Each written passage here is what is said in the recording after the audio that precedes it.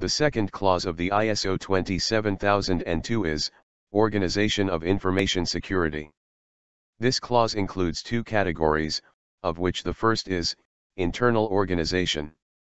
The main focus of this category is on the task force of the Information Security Department or division within an organization, and its internal and external relationships. We start with the first control of this category, information security roles and responsibilities.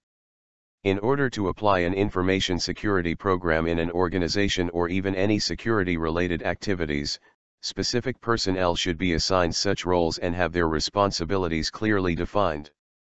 Taking information security policies into consideration, roles and responsibilities should be established in conformance.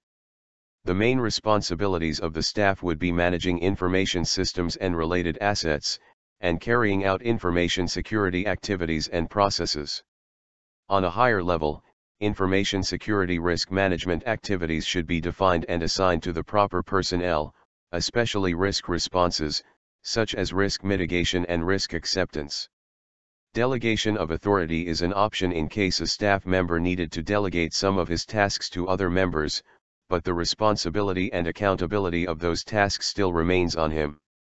In case of delegation, the staff member that is being delegated to, should have enough clearance to perform such tasks, and should be informed of any related dependencies of those tasks.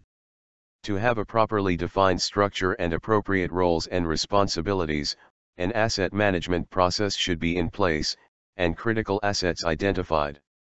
The protection of those assets should be assigned to the appropriate personnel, along with the documented activities that should be performed. An appropriate personnel, is a staff member who is competent and has the right skill set required to perform those activities. To keep up with any changing requirements, personnel's skills should be periodically evaluated and when possible developed and trained.